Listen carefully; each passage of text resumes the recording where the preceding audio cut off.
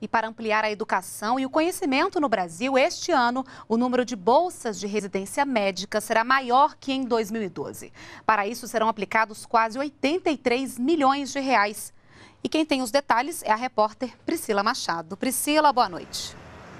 Boa noite, Renata. Em 2013, o número de bolsas de residência médica oferecidas pelo Ministério da Saúde vai passar de cerca de 1.200 para 2.881. Sobre o assunto, quem tem mais detalhes é o secretário de Gestão do Trabalho e da Educação na Saúde, Mozar Salles.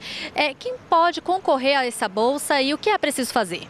No caso da bolsa eh, na residência médica, basta ter o diploma de medicina registrado no Conselho Regional do seu estado, que está apto a prestar o exame para concorrer à residência. O exame é descentralizado, as comissões de residência nos vários locais é, do país, os hospitais, as secretarias estaduais de saúde, as universidades, os hospitais de ensino que oferecem a residência, fazem os chamados os processos seletivos. E qualquer médico é, que esteja registrado pode participar e prestar esse exame.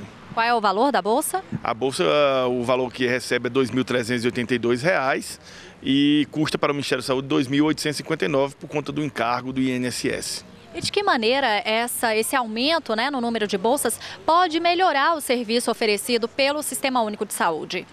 De maneira inquestionável. À medida em que nós ofertamos à população brasileira um número maior de especialistas em todas as áreas, só na área de cirurgia geral serão 245, 343 novos clínicos, 211 novos pediatras em todo o território nacional, nós vamos também atacar a falta desses profissionais da anestesiologia, da traumatortopedia, da medicina intensiva e vamos poder ofertar ao povo brasileiro mais médicos melhor formados, qualificados, especialistas pelo melhor método de formação de médicos na área de residência, que é o processo da residência médica, que são 2.800 horas por ano de formação e de treinamento. Portanto, é um, grande, um grande programa e uma grande iniciativa do governo brasileiro.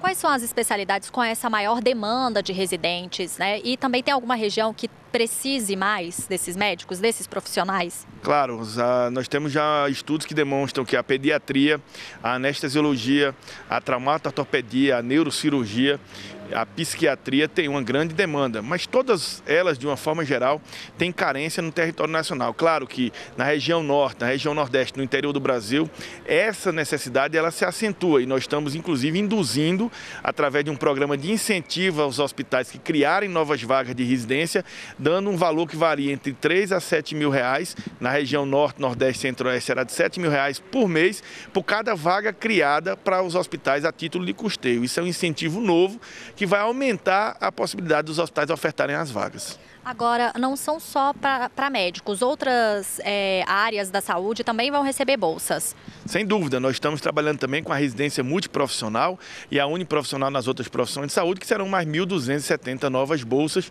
para as áreas de enfermagem, odontologia e as outras profissões. Muito obrigada pelas informações. O investimento do Ministério da Saúde para é, conceder essas bolsas é de 80 milhões de reais neste ano.